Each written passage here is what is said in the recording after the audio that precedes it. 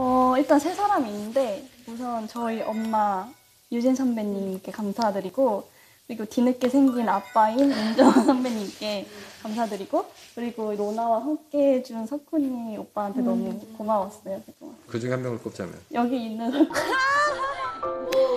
어, 그동안 로나랑 같이 하는 동안 너무 옆에서 든든했었고 항상 로나의 편이 되어줘서 너무 고마웠어 고마웠어 이렇게 말하면 좀 그렇지만 엄마 아빠는 카톡으로 보내드렸으니까 이번에는 오빠한테 하겠습니다. 저희 부채 좀 시즌 1부터 3까지 거의 계속 오빠랑 붙어가지고. 무슨 대사만 하고 막 슬프고 힘들고 모든 신들 다 거의 다 오빠랑 함께 버텨왔기 때문에 진짜 고마웠어. 고마워. 그래. 현수랑 지연이한테 저도 되게 고마웠고 그래서 한 명을 꼽자면 그리고 저는 아버지.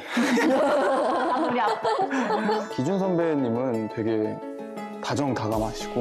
어, 현장에서도 되게 풀어주시고 분위기 메이커 음. 맞아. 생각보다도 음. 더 많이 챙겨주시고 늘 진짜 아빠 미소 같은 미소를 짓고 우리를 음. 아, 바라봐 주시고 아, 되게 극 중에서는 아버지고 연기자로서는 선배님이시고 근데 사람으로선 좋은 형 같은 느낌 음. 이런 느낌이 컸기 때문에 음, 아빠한테 특히 더 감사드리고 싶고 이런 엄마 아빠를 만날 수 있는 복이었지 어, 이게 너무 행복이었어. 음.